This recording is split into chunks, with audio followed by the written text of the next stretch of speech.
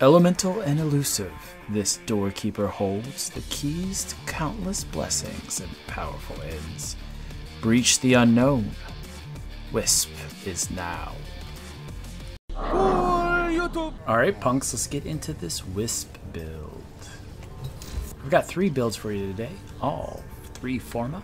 And each of these builds have different uses. Uh, starting off with our main build that we're going to be using pretty much the whole time is the Winged Whisper. Starting from the top left to right, we have Energy Siphon, Aero Vantage, Primed Continuity, Umbra Intensify, Primed Flow, Adaption, Blind Raged, Gladiator Fitness, Stretch, and Rage. Our arcanes are Arcane Energize and Arcane Guardian.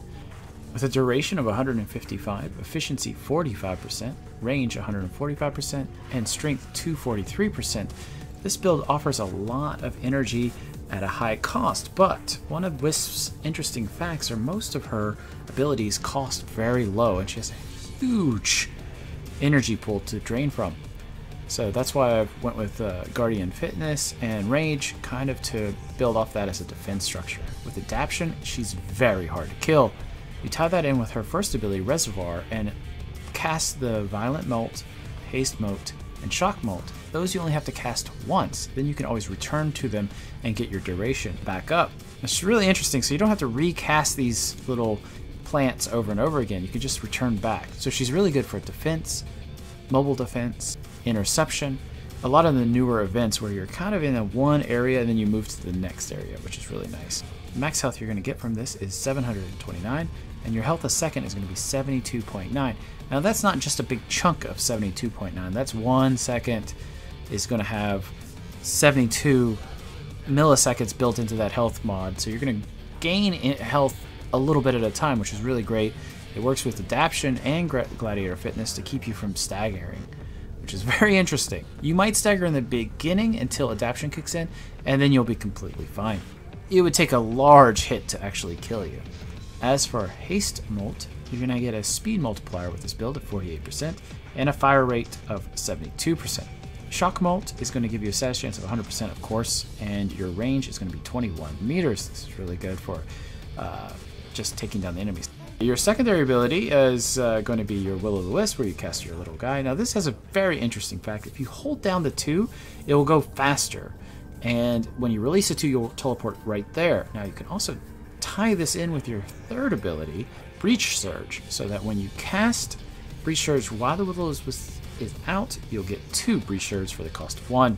So that's really nice. Speaking of Breach Surge, this build gives you a radius of 21 meters, blind duration of 24 seconds, damage multiplier of 4.86, which is really good, and a status chance of 48%. Uh, so it's really nice. Now, for her final ability, uh, Sol Gate, this build's to drain about 38 right off the bat, and the drain per second is 12. Uh, you're looking at 2,430 damage at a range of 58 meters, so you've got a good amount of damage of fire and radiation, and 58 meters. Now, if you hold down the right click or the fire button, it's going to actually buff that damage up, and you're going to also drain more energy. Now, this isn't one of my favorite abilities of her. I really like the first, second, and third ability much more than this. This feels like kind of like it's just not enough damage, and she can't use any of her other abilities, so she becomes a stationary target. Um, so just keep that in mind if you're using this.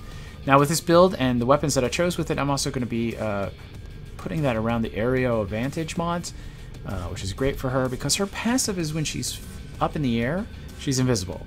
What this does is when you land on the ground, it puts five enemies asleep that were damaged while you're aim gliding for six seconds. Now, this six seconds seems kind of strange. Sometimes the enemies will only be stunned for two or three seconds. I think that's because they take damage or they wake up through some other way. But it still gives you an opportunity to get down there and get to taking care of some enemies or stun some bigger guys. As for survivability, this build has two defense mods, the Adaption and Gladiator's Fitness, tied in with Rage. Uh, it's really strong, and uh, if you get Arcane Guardian, you're going to be getting a lot of armor, preventing more damage in, so she can take a hit, which is really amazing for this. Alright, let's get to our next build, Singing Whisper.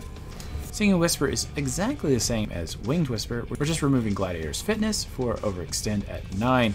This is going to give you a larger range for her Breach Surge. This will also increase the range of Sol Gate.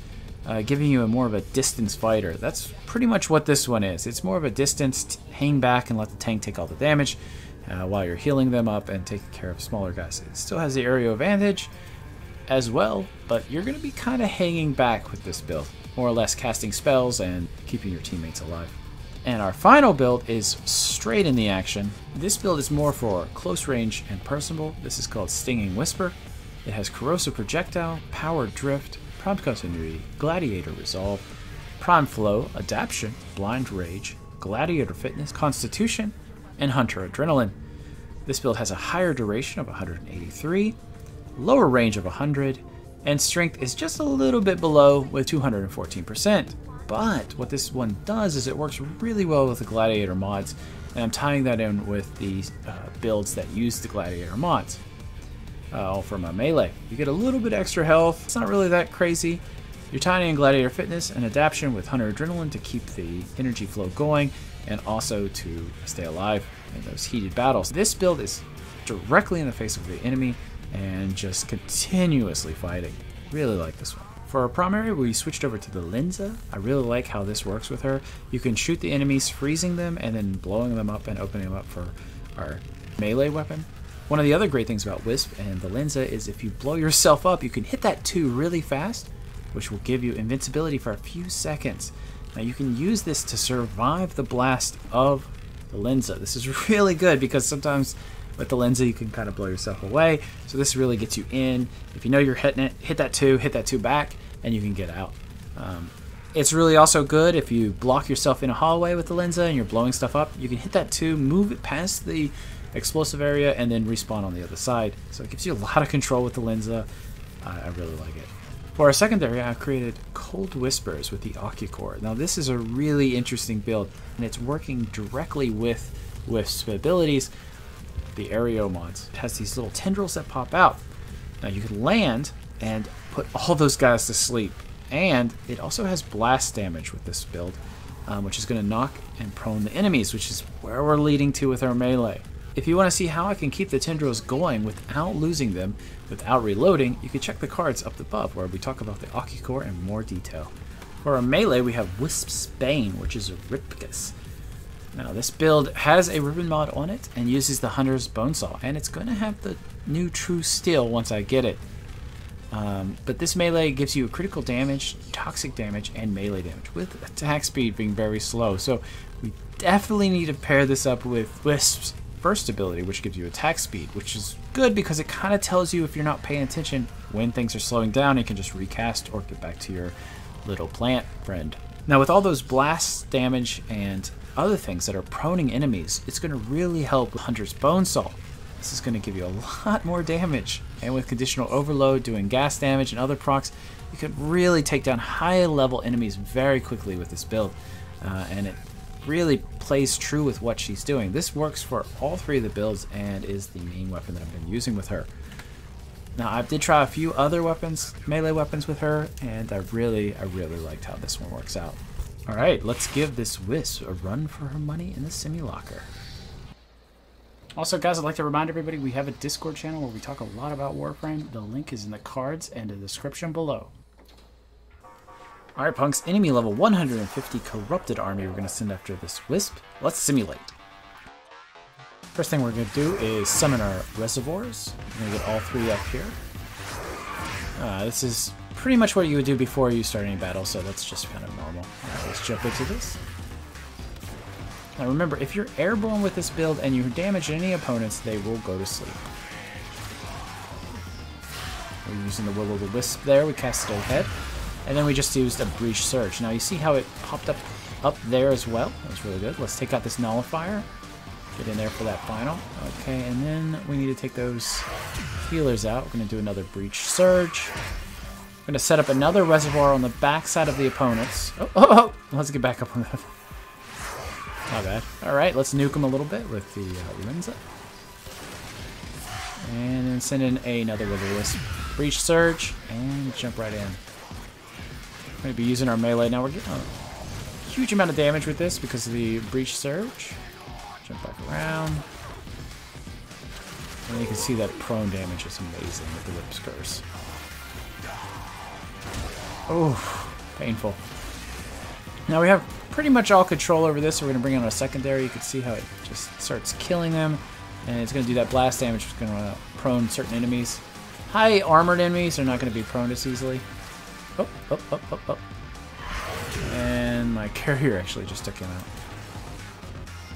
Another prone kill. Jump in there. And let's see, I think that's it. You can also teleport up there and do a breach surge, which is pretty amazing. We got one last gunner. Let's jump in there, take him out. Oof. Tough little guy. And he's done. And you can see how adaptation and uh, Gladiator's fitness is really working here. Uh, hardly any damage. Quick movement speeds. This frame is this frame is really nice. Hope you guys enjoyed. Remember to like and subscribe.